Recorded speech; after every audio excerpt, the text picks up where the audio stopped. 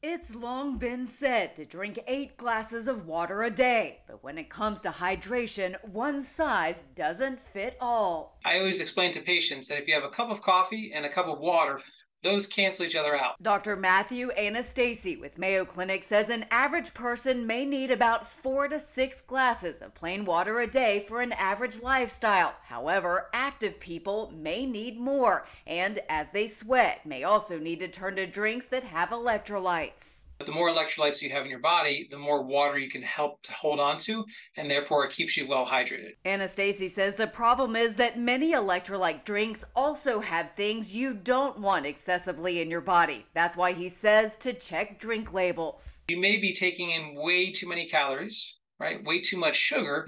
And you also may be well above your recommended diet, dietary consumption of those substances that I mentioned.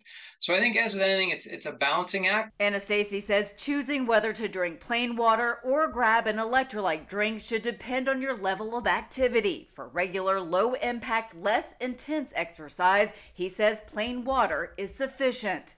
But if you're going on anything more than 30 minutes in duration, or anything that's going to be very intense. For Health Minute, I'm Andy Gaither.